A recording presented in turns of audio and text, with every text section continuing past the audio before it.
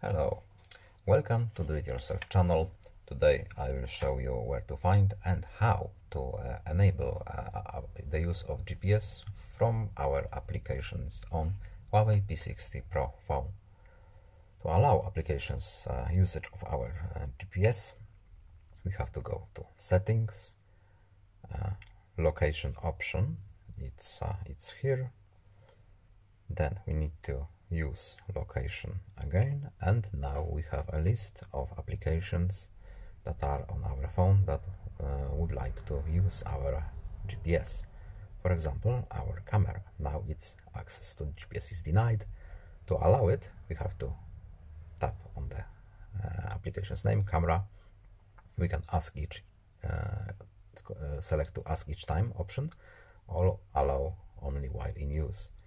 Let's use this one and our GPS now is uh, available for our camera right here allowed only while in use as you can see. And that is all.